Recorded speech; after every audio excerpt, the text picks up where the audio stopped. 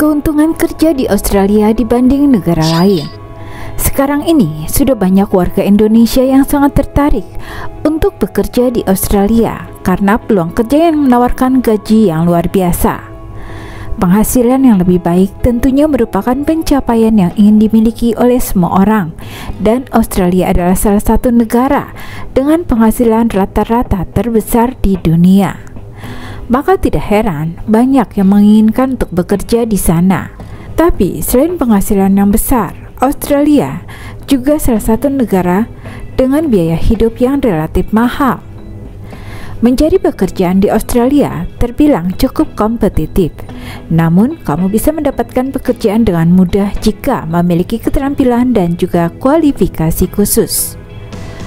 Untuk mereka yang pernah ke Australia, kebanyakan akan berkata, Australia negara yang work hard, party hard, atau kalau kerja, kerja keras, kalau liburan, benar-benar liburan. Tipikal jam kerja yang full time di Australia dari Senin hingga Jumat bekerja dan Sabtu Minggu liburan. Karena hal ini, tak jarang kalian akan melihat banyak yang menghabiskan waktu dengan keluarga, liburan, atau bersenang-senang di bar. Tapi jangan ditanya saat mereka sedang bekerja, sama seperti di Singapura, saat kerja mereka memang fokus untuk bekerja. Kalian akan lihat banyak orang yang berjalan cepat menggunakan transportasi publik dan mobil. Lalu, kenapa banyak orang Indonesia yang tertarik untuk bekerja di Australia?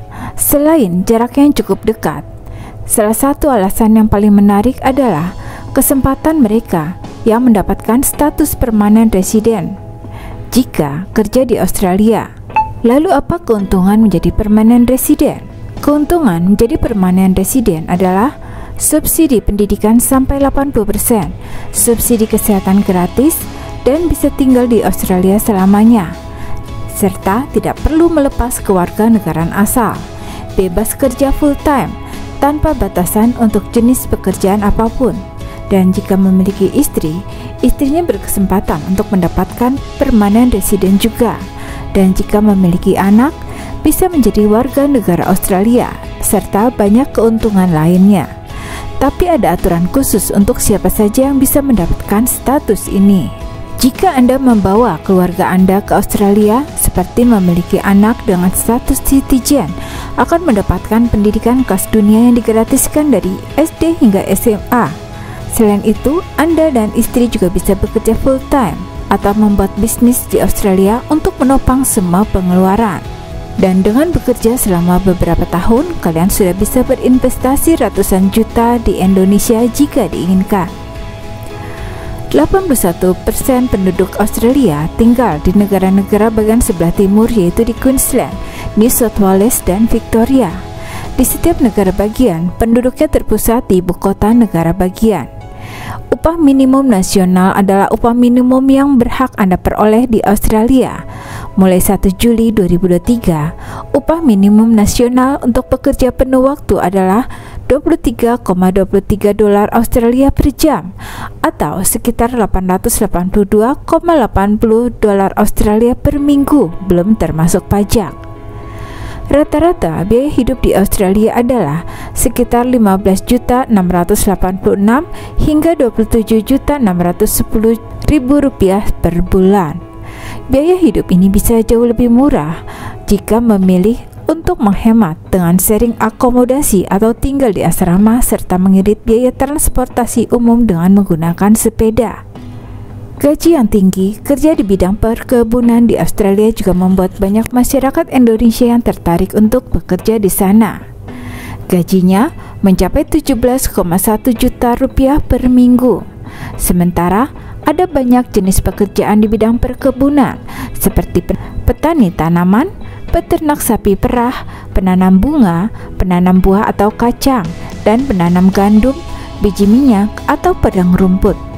Meskipun begitu, syarat untuk bekerja di perkebunan Australia tak mudah. Beberapa syarat yang harus disiapkan sebagai berikut. Memiliki visa kerja yang sah dan valid dengan minimal IELTS 4,5. Punya rekening bank Australia untuk pembayaran gaji dan memiliki TFN atau Tax File Number untuk pembayaran pajak. melengkapi dokumen pribadi termasuk kartu identitas, kartu keluarga, akte kelahiran, SKCK, dan lain sebagainya. Sedangkan untuk melamar kerja di Australia dapat dilakukan secara online, seperti melalui situs Wikifarms Australia. Wikifarms Australia merupakan situs bagi backpacker yang bekerja di bidang pertanian. Ada banyak lowongan kerja sambilan selama perjalanan. Ada sekitar 2000 perusahaan pertanian yang bergabung di Wikifarms di Australia. Yang kedua, Agriculture Job Australia. Situs ini digunakan mencari pekerja pertanian musiman di Australia yang didirikan sejak tahun 2009. Ada ratusan lowongan kerja pertanian yang disediakan. Yang ketiga, Workforce Australia. Situs ini dibuat oleh pemerintah Australia bagi para pekerja luar negeri maupun dalam negeri yang mencari pekerjaan di Australia. Yang keempat, SEC Australia. SEC Australia adalah situs mencari pekerjaan mencakup pada bidang perkebunan di Australia. Tapi perlu diingat, jika kamu mencari pekerjaan secara online, pastikan kamu membatasi pencarian untuk pekerjaan jangka pendek atau kontrak saja karena ini akan memudahkanmu mencari employer yang membutuhkan pelamar dengan visa working holiday. Dan jika kamu berniat menjadi kerja setelah tiba di Australia, bisa mencari pekerjaan secara langsung. Biasanya lowongan banyak dibutuhkan di, di industri hospitality. Kamu bisa menyinggahi bar-bar dan restoran di sepanjang jalan yang mungkin membutuhkan pramusaji dan bartender.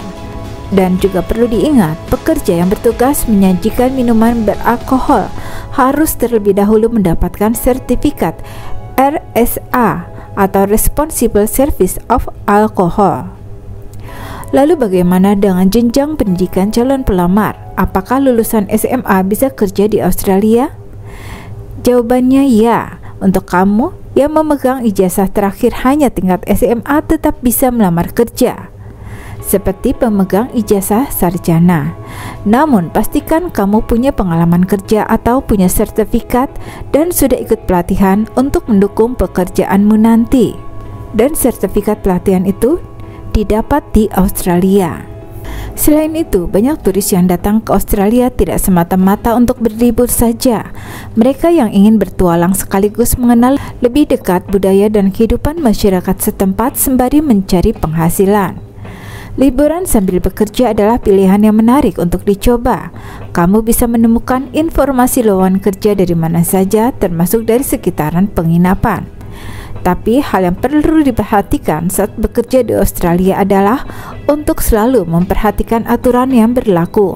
Sesuaikan kualifikasi yang kamu miliki dengan pekerjaan yang kamu lamar agar tidak mengalami kesulitan. Dan terakhir, Jangan menggunakan dokumen pribadi sebagai jaminan bagi pemberi kerja atau employer untuk menghindari masalah serius di kemudian hari.